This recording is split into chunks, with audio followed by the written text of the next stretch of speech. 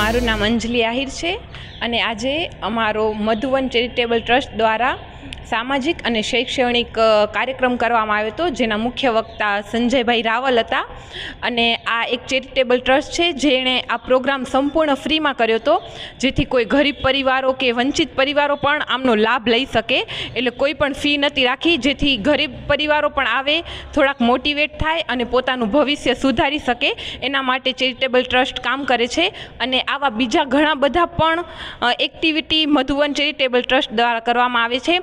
કોઈ ગરીબોને, કોઈને શિક્ષણની પ્રોબ્લેમ હોય, તો એવા ઘણા બધા કામ કરે છે અને આવી જ રીતના ભવિષ્યમાં પણ આ ટ્રસ્ટ કામ કરતું રહેશે.